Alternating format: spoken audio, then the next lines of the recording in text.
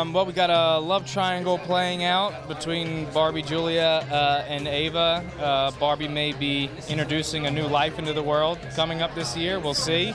Um, and uh, pretty much the the calamity of everything. Uh, it'll end with all the questions that we've asked over the last several years being answered by the end. So.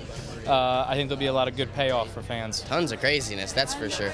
Yeah, I mean, I think that we hold true to like the sci-fi genre of Under the Dome in this season a lot better. Previous seasons we've had some catastrophes and we've just blown a lot of stuff up, but I think this season our audience is going to be really pleasantly surprised with a couple new things, but also all of their old questions will be completely answered. I'm new this season to the show. Um, uh, the character is Christine Price, and she's. Uh, becomes quite a force in the community. I crown myself the queen of this community, and I because I just see that there's um, too much uh, divisiveness happening in the community, and I feel the only way to kind of get this community uh, to be on track is for me to come at them with this agenda of having this collective and this kinship, and and in some ways I'm successful. In other ways, you know, because people don't necessarily get on board. That's when you know the drama uh, ensues.